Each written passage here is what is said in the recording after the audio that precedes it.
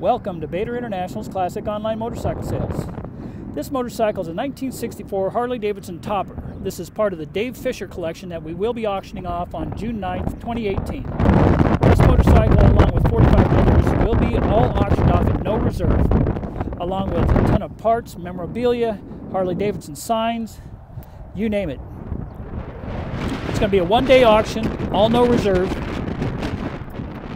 starting at 9 a.m at the Frontier Harley Davidson dealership in Lincoln, Nebraska. For more information, contact me direct at 805 798 1802 or check out our website at www.bator, B-A-T-O-R, international.com for all the rest of the information that you may need.